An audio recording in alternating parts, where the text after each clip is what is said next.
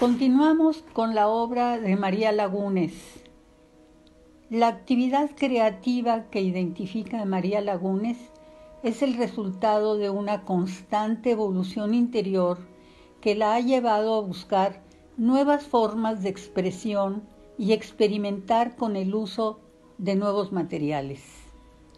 Sus composiciones, en dos y tres dimensiones, aluden a espacios y volúmenes arquitectónicos y urbanos, prefigurando escenarios de ciudades ilusorias u utópicas que, sin embargo, poco a poco toman cuerpo para convertirse en realidad. En su obra se reconocen seres humanos, animales o vegetales que conforman desconocidos y enigmáticos universos vivientes, además de objetos caracterizados por la completa abstracción geométrica que crecen y toman forma a través de operaciones de adición, ensamblaje, juxtaposición, que les permite directamente asociarse a la obra de arquitectura o bien distinguirse insólitamente en el paisaje. Sus obras se conservan en colecciones públicas y privadas en México, Europa, Estados Unidos, Canadá y América del Sur. Son dignas de mención las obras expuestas en el Jardín de las Esculturas del Foro Cultural Guanajuato, el Museo de Valladolid, España, la colección de la Universidad de Granada, en España también, el Museo de la Roca Pía en Tivoli, Italia, la Lauren Rogers Museum of Art Library en Mississippi, Estados Unidos, y en el Museo de Arte Moderno de la Ciudad de México. Ha recibido numerosos premios, una placa de plata y medalla de oro por la escultura señal en la Segunda Bienal Internacional de la Piedra en Marino, Italia, en 1980. El primer premio a un artista extranjero en la sección de arte abstracto en el Salón Internacional del Palais de Bellas, en el Palacio de Bellas Artes en París y en Charleroi, Bélgica, 1982.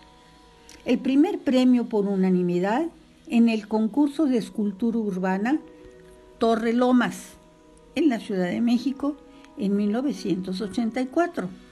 Diploma y placa de oro en escultura en la 21 Exposición Internacional de Pintura, Escultura y Gráfica realizada en Nápoles en 1984. Obtuvo el primer premio en el concurso para el diseño del trofeo Ícaro en México en 2001 y además el primer premio en el concurso internacional Teatro y Ciudad para la restauración del Teatro Romano de Spoleto en 2005. Su obra ha sido publicada en diversos libros y catálogos editados en Italia, México, Francia y España.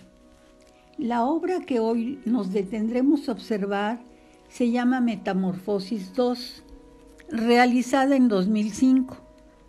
María Lagunes es una de las primeras escultoras en utilizar el lenguaje abstracto para su expresión artística, concretada en varios materiales y formatos. Lo suyo es la originalidad dentro de la monumentalidad. Es María Lagunes una auténtica creadora. No copia la naturaleza, ella confronta las formas de la naturaleza a las cuales suma todo un universo de formas que coloca en el espacio, que genera a su vez múltiples espacios, algunos de ellos como aparentes intersticios profundos que inducen hacia inesperadas profundidades. Entre los materiales que utiliza María Lagunes se encuentra el mármol, el ónix, el concreto, el bronce, el acero inoxidable al carbón o cromado, pero también hay madera y textiles, o sea, todo lo que le sirva para dar perdurabilidad a una idea.